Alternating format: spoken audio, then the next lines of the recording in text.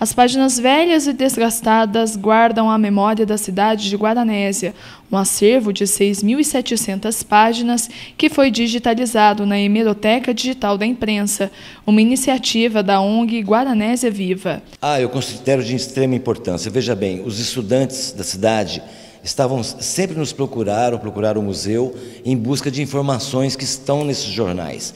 E nós tínhamos as maiores dificuldades, porque tínhamos que colocar luva para poder manusear esses jornais antigos, são muito antigos, velhos, estão secos. Isso dificultava muito a encontrar informação. Agora não, ficou uma coisa automática, basta digitar um nome, uma palavra, uma frase e imediatamente uh, o software já traz as ocorrências de, daquilo que você está pesquisando. O termo hemeroteca vem do grego. Hemera significa dia e tek significa depósito. A hemeroteca é espaço em bibliotecas dedicado à coleção de jornais e revistas antigos que mostram a história de uma cidade. No caso da hemeroteca de Guaranésia, o acervo é digital e está acessível através de um site. Seis publicações que circulam desde o ano de 1900 estão disponíveis no site. São elas o Monitor Mineiro, O Combate, Folha Mineira, Revista Nação Brasileira, Guaranésia e seu município e o Cinquentão. No início, a nossa proposta era digitalizar o jornal, a coleção do jornal Monitor Mineiro, mas no desenvolver do projeto, nós vimos que foi possível ampliar a proposta e digitalizar todos os outros jornais de Guaranésia. Então, fizemos um trabalho onde nós conseguimos recuperar desde 1902 até 2002.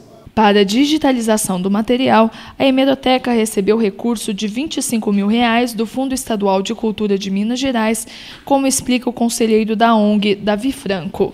No início tivemos muita dificuldade, mas aos poucos nós fomos é, familiarizando com esse projeto e ele foi caminhando naturalmente. Hoje a hemeroteca digital praticamente já está feito, executado o projeto e disponível num site de domínio público. A inauguração, como foi dito agora há pouco pelo professor Ivan, será sábado agora próximo, no Centro Cultural, e contará com vários segmentos da sociedade. Alcino é o presidente da ONG Guaranésia Viva. Para ele, a hemeroteca faz uma viagem ao passado da cidade. É uma coisa que vai ficar para a cidade, porque Guaranésia já tem, como teve o Venceslau de Almeida aí, que nós estamos marcando um jornal com muito tempo né, que a gente está fazendo, e tem mais dois guaranesianos, que é o Antônio de Lourenço Neto, e Erasmo de Freitas Nuzzi, são jornalistas de Guaranésia que levaram o nome, sendo que os dois eram professores da Fundação Casper Libro, que é um dos jornalismo mais fortes do Brasil, né?